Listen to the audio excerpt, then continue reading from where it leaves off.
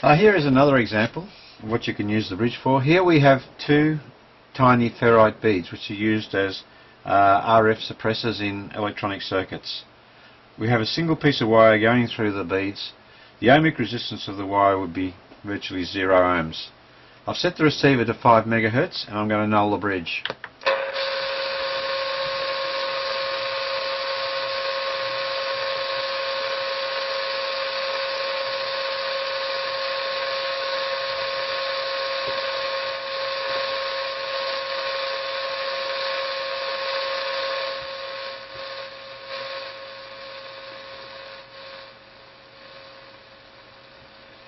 Wind the gain up on the receiver a bit more.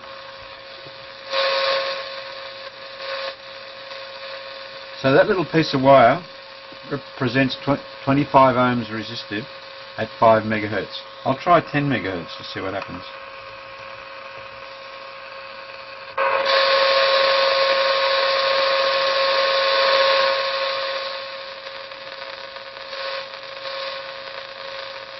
Well, it's nearly 60 ohms at 10 meg. And at 30, I'm not sure. 29.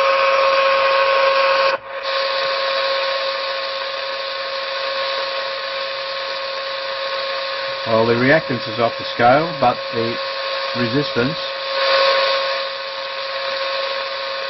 is around 150 ohms. So those tiny little beads effectively make that piece of wire look like 150 ohms to an RF circuit.